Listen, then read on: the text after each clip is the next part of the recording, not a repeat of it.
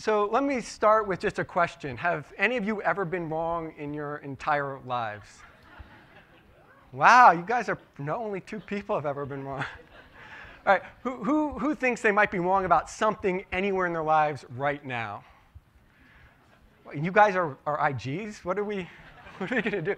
Okay, no, so, you know, part of life is sometimes we have wrong ideas, right? I know I've had many, many wrong ideas. My son reminds me of that he only has like five words, right? And he's still very effective at telling me how wrong I am uh, about things. Uh, so I want to jump back in time because we've been wrong as a human species about all sorts of things to different degrees, and back in time we're even like more wrong than we are about some things. Uh, now, for example, we used to think that uh, the sun revolved around the Earth. But, yeah, but that makes sense, right? If you go outside and you look at the sun, it's, it's going around the Earth, right? So you look at the data that was available, and someone would say, no, no, no, the Earth is going around the sun. You're like, what do you mean, like we're spinning in space in orbit? That's crazy. We see it. It's right there. It's going around. We had some other crazy theories as well. Uh, one of my favorite is the emission theory of vision. That's where you open your eyes and beams shoot out, and they reflect off of things, and that's how we see the world, right? Uh, I prefer that theory to like light bouncing off things. It's much more exciting to be like Superman with less fire and destruction. Uh, and then, you know, we also had theories about fire, for example, like fire was locked in. It's called phlogiston. It was like locked in objects, and you heat them up, and the fire gets set free. I was going to tell you how fire actually works, but I don't know, so I'll just have to end on that. So, wh why am I telling you about these theories we don't believe in anymore? It's because it took a lot of effort to go from those theories to what we believe now, and that effort was a lot of it was through the scientific uh, process. And what I'd like to argue is that process, I think, can inform how we think about the issues we're dealing with right now as IGs with data. Uh, and the world of science has been dealing with huge piles of data for a long time, and I think it's informative that even with access to a lot of data, we still often make wrong conclusions. Uh, so the key point is that coming to a right conclusion isn't just about having data, it's about taking the time to interpret that data and appreciate you might be wrong. You guys might, I mean, I'm going to be right about everything, right? But maybe. Okay, so what's, you probably saw something like this in middle school or high. I, for, I forgot when they teach this stuff, but like, you know, science, how does science work? Well, the first thing we do is we gather data. And here at the IGs, we're gathering data all the time, both as part of our investigations, audits, and evaluations, and also in part of our internal metrics. And then we ask questions about that data, right? You know, how should we perform this audit? Who should we target for uh, investigation? Uh, why do our internal metrics look the way we do? Uh, and then we develop predictions. We say, hey, I think this is the area where we're going to get the most uh, if we investigate, or I think this is how we should perform the audit. And then we take action, right? Even though we might be wrong about things, we can't just sit in a room pondering, as fun as that might be, wondering where we might be wrong. We need to, we need to act. Uh, but I think the key idea of science is, is you don't stop at that point, right? You don't stop and say, yep, audit's done. I don't need to worry about that anymore. That's history.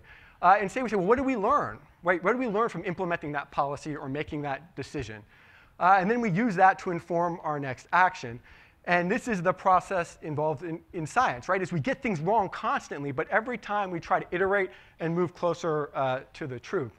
So what I want to, like this is like the big take-home point, and then we'll have a lot of like little examples is the idea that anytime you make a decision, you should ask yourself, how am I going to figure out if this decision is wrong? Right? It should be built into that decision-making process.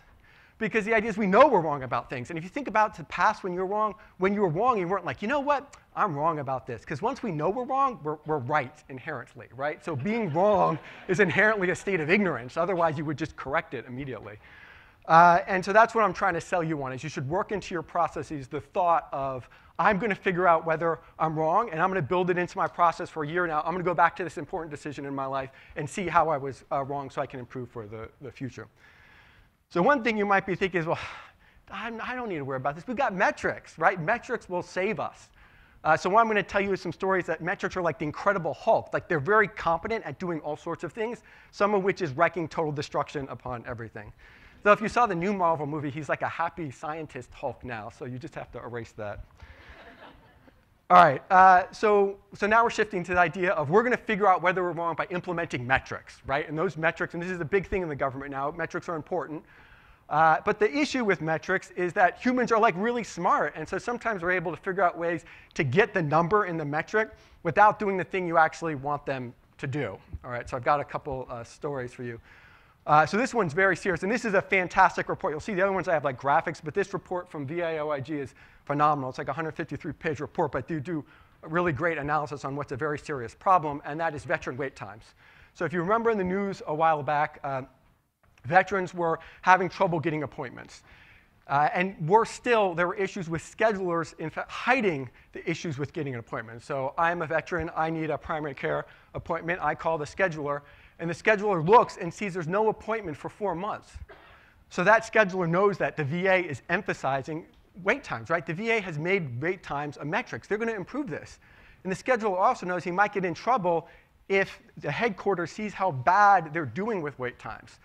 So what that scheduler does is he takes that uh, request and he puts it in a separate system. He doesn't actually log it. And this was being done systematically. And get an idea how serious the problem was, there's an email that's in the VA uh, OIG report in which someone says, hey, I think it's like Hawaii is like emailing Phoenix. Phoenix, you're crushing it in wait times. How are you doing it? And the manager says, smoke and mirrors, smoke and mirrors. yeah. So it's tragic, really, because the VA uh, had these metrics. And these metrics were critical to its performance. But by emphasizing the metrics, they actually corrupted the metrics. And it wasn't on a total national scale, but a widespread issues with wait times being corrupted because they were so important. So you can see where we're getting at here it's not just enough that you have a process of checking things, that process itself must be robust. Uh, so here's a second example. You know, when you were in high school, you probably knew students who cheated. I think back in middle school, I might have even cheated once or twice. I shouldn't say that in public, but it was a long time ago. they were very small quizzes. Um, but, uh, but it didn't, maybe it didn't happen. Let's just, okay. So what this is, is it's just like a flip thing. So you know with the Department of Education had some funding that was linked to standardized test scores, right? So what, they, so what Atlanta did is like, man, it's really hard to teach students. We have a much better idea. We'll give the students the tests, and then we'll erase the wrong answers and bubble in the right answers, right? And sure enough, performance skyrocketed. I think the superintendent of the school system got an award for the best superintendent. Uh, and it wasn't until a newspaper investigated and said, wait a second, why are all these wrong answers erased and replaced with right answers? And there were over 100 people involved in this cheating scheme across uh, uh, Georgia. So it was a really big, a really big deal. Uh, well, what happened there? Again, we want to know how our students are performing. It's really important. We set up a metric in place in order to track that. But what happened? The metric got corrupted because people said, hey, we're so smart, we're going to achieve this metric without the hard work of actually getting students to perform better.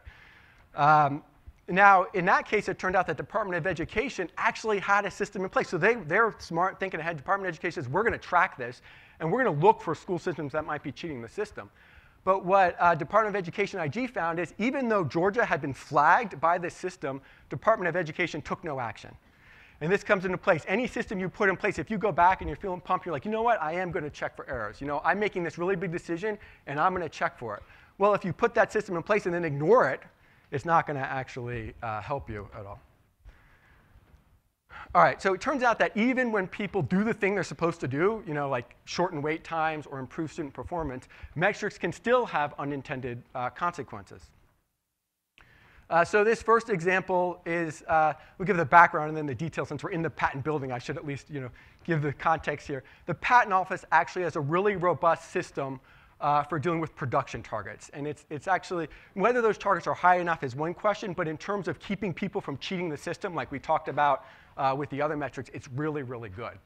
Uh, but one issue with it is they focus so much on production, they don't care quite as much, or at least when this report came out, on whether workers are working their hours, right? Because they're focused on production and not necessarily employee utilization.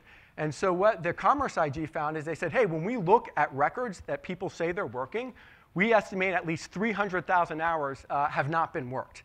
And they were pretty lenient on that. Like there was no evidence of them even entering the building or turning on their computer that day. And the patent office said, well, look, we might have some issues on that, but we're really good at hitting our production targets, which, which was true. But then I think Commerce reasonably responded that said, hey, just because you have this as a metric doesn't mean you should ignore other dimensions that are maybe more difficult to measure or aren't your, you know, your main thing you're, you're looking at. So, you know, and here are some things that I would do if I were not at work. I would probably sleep a lot. As I said, I have a kid. Water my garden that's all dying in weeds. And not play video games because I'm an adult. All right? Maybe go grocery shopping instead. All right. Um, so uh, here's, here's the last uh, story. And do you remember like 10 years back, there was that thing where like the economy had a little bit of trouble? You know, like, yeah. Well, AIG remembers, right? Like Pepperidge Farm remembers because they uh, lost $62 billion about, which was a record, and I think it is a, still a record loss. Uh, well, how did they perform that amazing feat, right? Well, it turns out they're an insurance company, and the way insurance companies work is they're for buying risk, right? They, you're going to you're gonna pay them money, and they're going to, if something bad happens, give you something in return. So what, what that means is when they sell a product of insurance, they're immediately getting money, right? It shows up on their books. They've got a new customer, they're expanding market share, and then they've got this wispy number, which is they might have to pay money out in the future. Uh, so with the case of AIG, they sold a lot of these credit default swaps, which are insurance on, on bonds. Uh, and they were so driven by the profits, the risk analysis got sort of pushed out into the corner. So when the economy crashed, they were totally left out to dry, devastated, uh, and destroyed as a company. Look at their stock. I mean, it's pretty much got evaporated. The government had to take them over. Um, and again, their metric, they had the metric of profits. That was important to them. And people really were selling, you know, they were gaining market share, selling these credit default swaps. But by focusing on that metric and letting the focus on risk that, uh, get de-emphasized, it caused an absolute uh, catastrophe. All right. So where does that bring us? We, you know, we sort of zoomed through a bunch of examples. Let me sort of give back, step back and give you uh, the big picture. So we start with the idea that we're all wrong, all of us, even those who didn't raise your hand. You just are wrong about that as a starting point.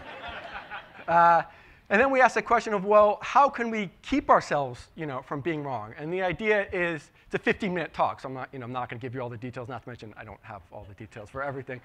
Uh, but the important thing is that whenever you make a decision, here's my concrete thing I'm going to recommend to you. You set a calendar reminder for like a year in advance. And you, there's two things for that calendar reminder. One, it makes you think, hey, I'm making this really important decision. When am I going to do a year from now to check whether that decision was the right one? So it makes you put something in place to hold yourself accountable. And then when that calendar reminder goes off and you forgot you even made that decision, right? It reminds you like, oh yeah, I'm the reason this happened. Was it the right way to act? and trying to build into your processes a way to check yourself uh, in order to sort of correct some of those wrong ideas. Because there's a tendency, and I do this all the time, where I'll make a wrong decision, and then in the future, I'm like, that wasn't me. Don't be ridiculous. That was circumstances arising around me in an, unstoppable way. Um, okay, then we also talked about metrics and how metrics can have huge impact. And the story, which I didn't tell, but just to give you, uh, you know, a positive end of metrics, is there was an organization of about 700 lawyers under brutal metrics, okay? Everyone was miserable. And a new SES comes in and says, shoot, you guys are unhappy. Like your FEVS scores, which we'll, you'll hear about in the next talk in a different uh, agency, are down at the floor. I'm going to make things better. You're going to be internally motivated. We're removing the metrics. All right, so raise your hand if you think things got better. Raise your hand if you think things got a little worse. Raise your hand if you think things got apocalyptically worse uh, production dropped by 50%. Right? So, you know, we can see metrics are like a sledgehammer, right? I mean, we've seen in terms of motivating people to do the wrong thing, but even motivating people to be really unhappily productive.